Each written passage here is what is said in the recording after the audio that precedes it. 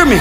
We got more preachers in the pulpit that have pledged their allegiance to Omega Psi Phi, to Alpha Kappa Alpha. They can step, they ain't spiritual.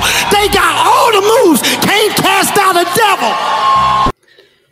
I remember first reading the story when Jesus went through the temple, began to drive the money changers, those who buying and selling with the whip, kicking over tables. I remember first reading it and thinking to myself, God, why do I feel the urge or the need to do the same thing? And I was talking in the same way that Jesus do it, did it.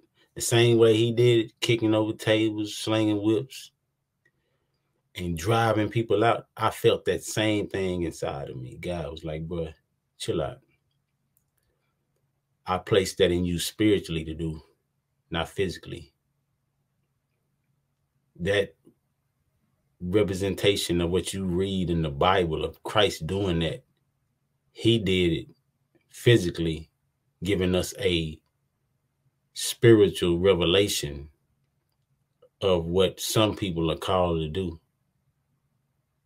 And we must remove the idols, not from the mere physical building, but from within. The lust, the overze- overzealous attitude, the covetousness, the me better than you, selfishness. We must drive those things out of us. Drive those fleshly desires out of us no matter where it is from adultery, homosexuality, transgenderism, to alcoholism, to drug addictions, to bitterness, to rage, to anger, to strife. Drive those things from within out. Begin to make war with yourself, with your flesh, make war even to the point it hurts. So that when you drive those things out of you, you may see clearly to drive those things out of the church. Whether it be false God worship, whether it be man worship, whether it be man centered, whether it be prosperity in the aspect of overdoing it everything is about me, my money, wealth, and all this. You will see clearly to pray. And not only pray, pray for instructions and direction on what and how to say it. Pray without ceasing, but still drive the idols out. And I know it's a hard topic because you have so many people in so many different walks of life that come to the body. And people are carrying so many different bags or baggage. And it's hard to let go. But the power of the holy spirit would begin to work in the new believer or even the unbeliever who's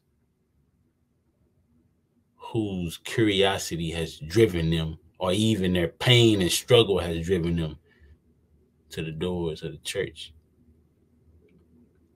Once they're in, then we can't lead them to us. We must lead them to the one who is working on us and driving those things out of us because we have surrendered to his will to do that. We're no longer ours. We're no longer our own. And we must begin to teach people that when you come to Christ, you are no longer your own. So me, mine, I has to die. At the end of the day, drive the idols out, no matter what it is, no matter what organization, group you done joined up with. And I'm gonna say this and I'm done. I believe we are at a point and coming to a point to where Christian Christ like will and has to be your only ID. Like shun and get rid of everything that falsely represents or brings another God or another ideology or a different way of doing things into your life. I'm gonna say this and I'm done. Divorce it, but not only divorce it, plan and orchestrate his funeral. Y'all know what this is, the WillHouse. Peace. Drive the idols out.